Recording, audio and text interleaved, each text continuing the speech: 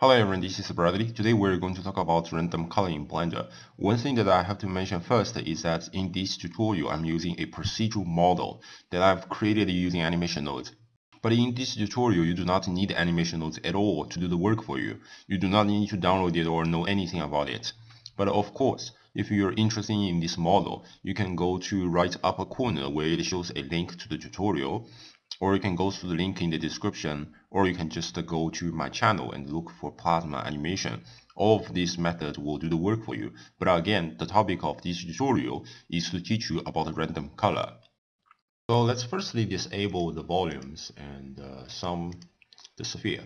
So the problem we are having in this model is I have multiple splines each of them are individual objects and I want to assign each of them with a different color uh, obviously, I'm not going to create 1000 textures and assign the 1000 of them to have a different color. Instead, I want to use a single shader, a single plasma shader, which has been used 65 times to assign them different color. The way I do is going to use a object info node.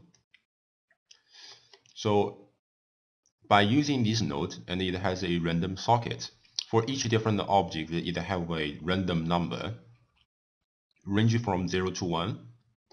And if I input this number into the factor of color ramp, it will basically pick up a color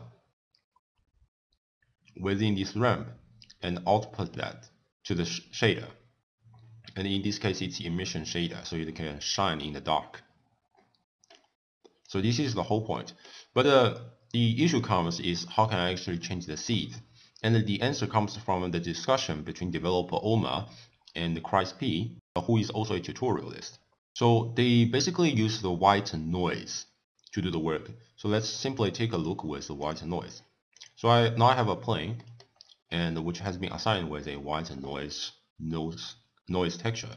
You can see uh, this is very interesting. Note it only contains a vector. And if you just change the vector, then the plane just flash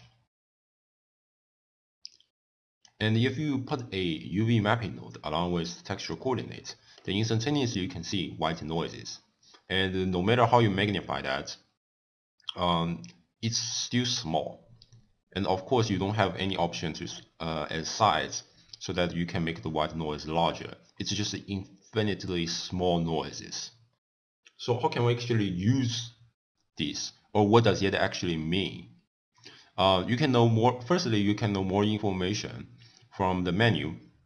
But what I can say is for each location is a position within a list. And in this list, all the numbers range from 0 to 1, like from black to white. And if you change the look, and if you think about this, and this actually answers the questions, because our random number also range from 0 to 1. So if we put this number combine XYZ and we take a white noise.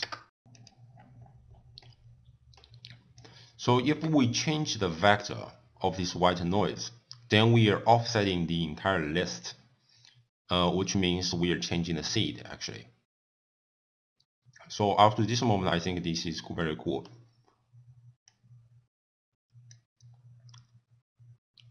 And this is how we actually change the seed.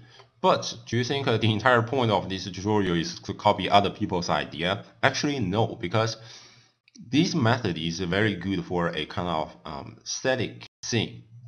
So if you change the seed, then everything has been changed. The color of this spline can be different, can be completely different from what it has it was previously.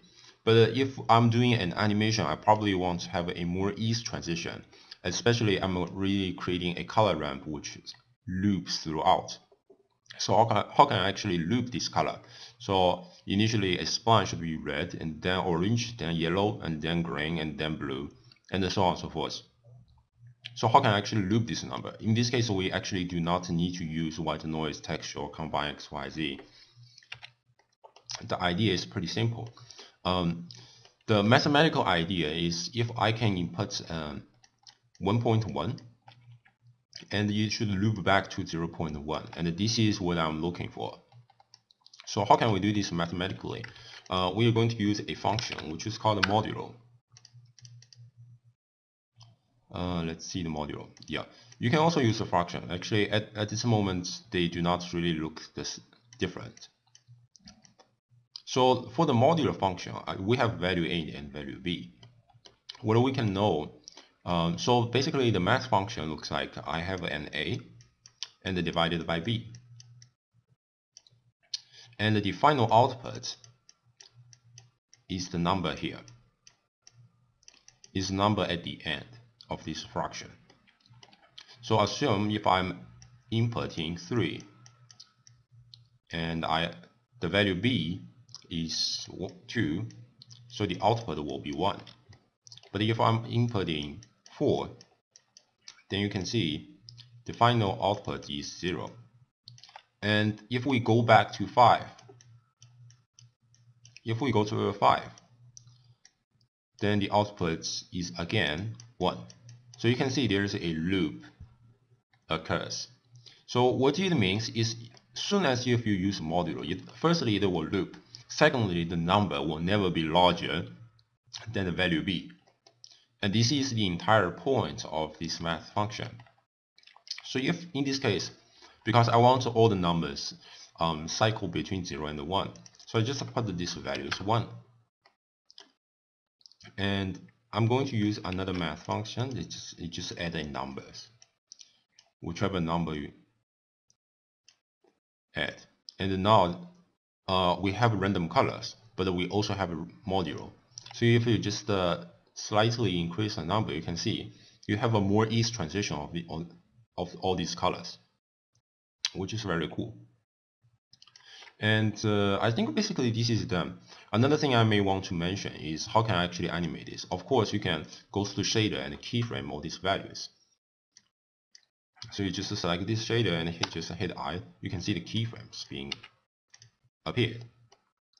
But uh, sometimes uh, this is also not a procedure, like you just have to use keyframes.